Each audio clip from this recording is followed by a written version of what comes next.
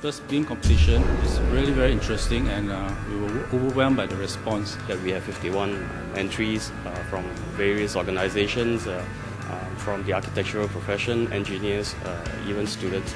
Um, I think it, it, it, says a lot about uh, the, the progress the country is making in terms of being advanced.